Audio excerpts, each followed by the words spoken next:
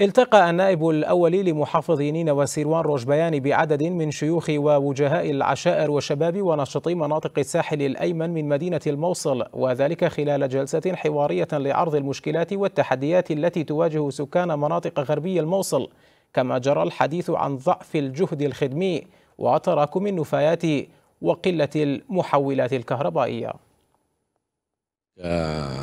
حكومة محلية نؤكد التزامنا بخدمة جميع أهالي نينوى والموصل ونواصل جهود الإعمار والبناء لجعل نينوى أفضل ما كانت عليها سابقا.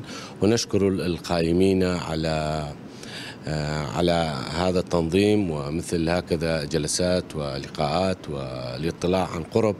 على مشاكل واحتياجات أهلنا في محافظة نينوى. هنالك منطقتين طبعا منطقة العبور ومنطقة أطراف رجم حديد. باشرنا قبل أيام في أو ضمن أعمال الجهد الخدمي الذي انطلق قبل أسبوعين أو أكثر. وحاليا هذه المناطق إن شاء الله سيتم إكمال العمل بها بالاشتراك مع مديرية بلدية الموصل طبعا.